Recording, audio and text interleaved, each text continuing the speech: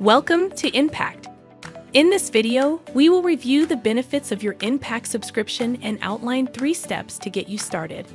Impact consists of a digital portal, the one you are using now, and an Impact Squad, a dedicated team of experts who will guide you along your ServiceNow journey.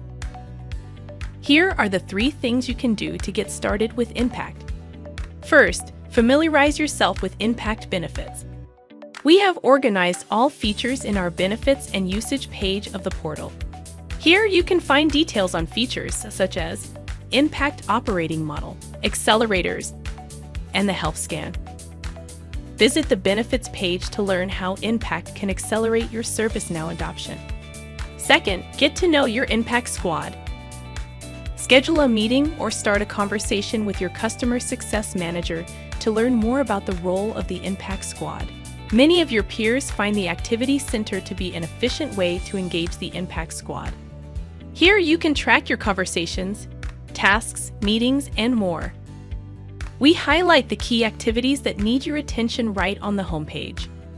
Next, create your business objectives through an easy-to-use interface called Value Blueprint. Your business objectives serve as the North Star to personalize your impact journey. Impact's personalization engine will recommend training, content, and other features to achieve your objectives fast. We are excited to get you started with Impact. Explore the benefits, engage with your Impact squad, and create your value blueprint. Let's get started.